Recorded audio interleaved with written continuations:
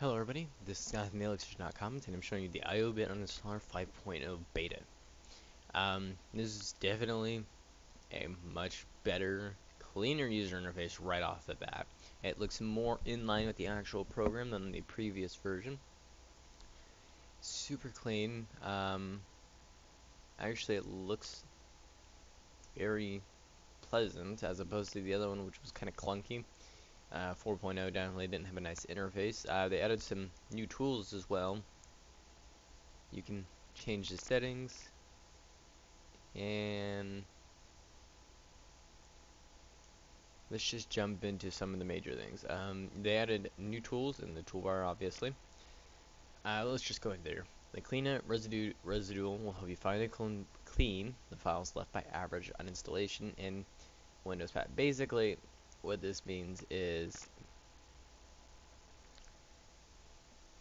if you download something chances are it's gonna and you uninstall it chances are some things are need left. The shortcuts random files from Windows cache files um, the download file location scan files in default download location and download tools.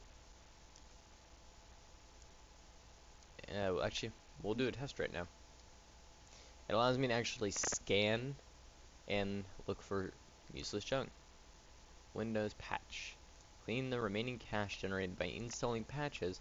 Patches can don't always Windows related. Most of the time they're from things like Adobe or Java, and this can help you clean them up. Download file location. Um, this will help you clean up your downloads folder. I'm just going to say this right now. If you have a ridiculously large downloads folder, which 90% of us did, mine was ridiculous the other day, and I spent a good time cleaning it up. Completely. So chances are is you're going to want to clean all these up. Um, I won't do the invalid. I'm not going to do the Windows patch, but I will do the download file and the invalid shortcuts and it'll clean up my downloads folder, which has the Adobe installer and a banner that I installed that I downloaded, and now it's cleaned up. The uninstall history allows you to check what programs you uninstalled.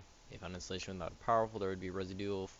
So you can click if I uninstalled a program and I didn't use the powerful scan, I can go through here and it will scan the uninstalled, the previously uninstalled programs if there are any residual files left. The file shredder simply allows you to add files that you want to be deleted permanently. Um, it's basically the process of uh, when you have a disk and you uninstall something, it's there. There's a one or a zero saying is there some is there information in this part? Yes or no. While you uninstall a program, you don't have the space on your hard drive. It's there's still data there technically. It just allows it to be written over. So you have that 1 or 0. So it's still going to show a 1. I call it a pseudo 1 because even though there's information in there, it can be written over. This basically takes that process and it will find the location of those files. So if I deleted this shortcut, there's going to be a 1 on my hard drive saying there's information here even after I've deleted it through the recycle bin. What this does is it says, alright, so then it creates a new file, an empty data file, fills that one spot where this used to be and then deletes it. And then does it so many times that in theory you shouldn't be able to retrieve it. Sometimes though, as we all know, people manage to retrieve it anyways because they're just computer freaking ninjas at that point and they deserve it. Watch out for keyboard ninjas, kids. They will hunt you. It's a very interesting tool, but it's kind of overdone. Most people are going to use this and they'll have no reason to. If you're deleting secure documents like bank statements, um, transactions, stuff that's on a business type of computer, this is something you should be using. Most of the time though, you should be perfectly fine just by using the regular recycle bin. Windows tools. Okay.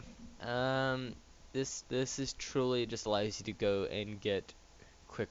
They're basically just shortcuts to Windows tools like the registry features taskbar.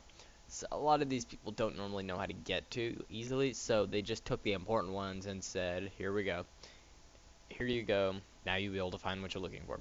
Typically, people don't know how to access a registry. And because you're not supposed to get there, and if people get there and start screwing around, they'll break things. Uh, systems with the services, a lot of people don't know how to get to. The security center, everyone pretty much knows how to get to. Windows features, very few people know how to get to, and so on and so forth. The Win Windows Manager, I wouldn't call this a new feature, but it's definitely a new tab. It allows you, it, in the previous version, IOBit 4, Uninstaller 4, all the things were basically compressed into here. The toolbars and plugins, the Win Manager, they basically separated it which made it much, much better because now not everything is congested. So if I'm wanting to look for a program, if I'm looking for a specific app, I can find that fairly easily now without searching through a ton of programs and trying to find it through a clunky user interface. The startup, I can find specific programs that are on my system startup, or are trying to be as we could see, this program is enabled on my startup. I could uninstall it, or I can disable it. I'm not going to do that though because it's my firewall and I'm not going to mess around with it. The processes, uh, you can uninstall uh, non these are non-Windows processes, which means if you uninstall them, you won't break your computer completely, but you might break some programs. Um, you can either end the task by clicking over here, or you can uninstall the program causing it. If I uninstalled this, I wouldn't have I wouldn't be able to record the video that I'm showing you now to do this in the first place. Now, that's a mouthful. You, it's it's still not a very useful feature. Windows updates is probably a useful one. Uh, Windows has really gotten, I wouldn't say sloppy, but they've been breaking things quite frequently. Uh, they've been sending out very many botched updates that have just been causing problems. And you can quickly just bulk uninstall. Hmm. Interesting. Where I can't do a bulk uninstall here? That's disappointing. I can't do it here either. Hmm. Guess that would be an interesting feature is if it automatically checked all of them, but at the same time, if someone did that and uninstalled all their programs and all the Windows updates, there'd be a problem It's definitely a much cleaner user interface.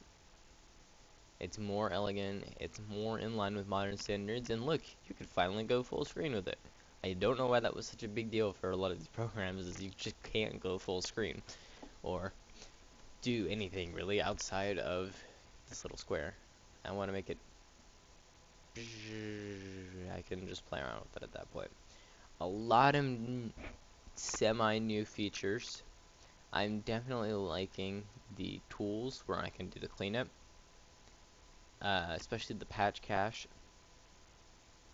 Um, I guess the uninstall history, the it, it's got new tools, but it's definitely not a feature update. It was more of a user interface update, which the company commonly goes like 0.3 major update, 0.4 major update, 0.2 major update. That that's just what they do.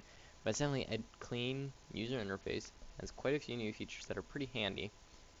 And I still kind of overall recommend it more than Revo Uninstaller. If you haven't tried them, actually we could probably check out the full list. We'll use this browser. Oh. This is the 360 browser. Never had a real reason to use it. 360. IOBit uninstaller 5 beta.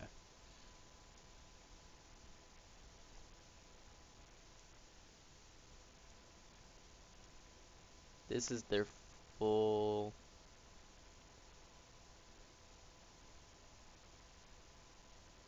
Here's their full spiel. Brand new UI, yep. You add in new tools, I'll give you that. support continuing the last uninstall interrupted by a system reboot. That's handy. What this is, is when sometimes people would either accidentally restart their computer, their computer would restart from Windows Update, and they would commonly get botched uninstalled programs, which I kind of akin to you try to uninstall the program and then a bunch of files get left and you can't uninstall it normally because it became corrupted and that would cause a lot of issues and the only real way is to go through and find all the files manually which is a major pain support removing the plugins not installed via the Chrome Web Store this is great because a lot of times plugins or extensions will get added by malicious programs Moderator and remove malicious eh their antivirus kind of sucks and I mean that in all honesty it doesn't do well. Even in my own test. Quick uninstall supports more programs. Quick uninstall basically it just goes through and uninstalls all for you automatically. So basically if you want to uninstall a program, it'll automatically do that for you. You basically don't even have to lift your finger. You could sit back and freaking sm smoke or drink a beer. It wouldn't matter. Optimize uninstall process to make it simpler and lighter. That's not really. Mm, that's not a feature but it's definitely a better thing and enhanced. These are the, the these two I always see in an update. They always say they do it, and I've never noticed the difference. What it probably happens is on older systems, you'll be trying to remove remove something, and it just doesn't go. It'll constantly like freeze, or it will just be a huge strain on resources. So definitely, it's there's some good updates to it. I'm I'm liking the new interface. I'm probably just going to keep this one. Check my toolbars and plugins.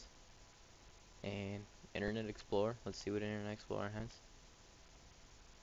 I don't know why I can't uninstall Internet Explorer yet, but it's kind of a drag.